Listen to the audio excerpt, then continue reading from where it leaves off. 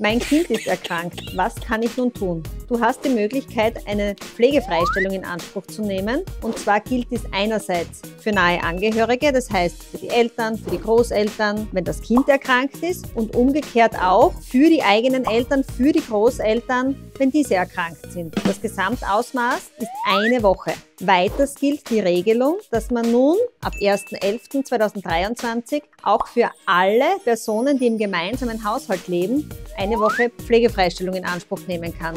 Wenn dein Kind nochmals erkrankt, hast du auch noch eine weitere Woche Anspruch auf Pflegeurlaub. Das heißt insgesamt somit zwei Wochen pro Arbeitsjahr. Dazu darf das Kind das zwölfte Lebensjahr noch nicht überschritten haben und es ist aber in diesem Fall auch kein gemeinsamer Haushalt notwendig. So könnte zum Beispiel bei getrennt lebenden Elternteilen sowohl der Vater als auch die Mutter eine zweite Woche für das Kind in Anspruch nehmen.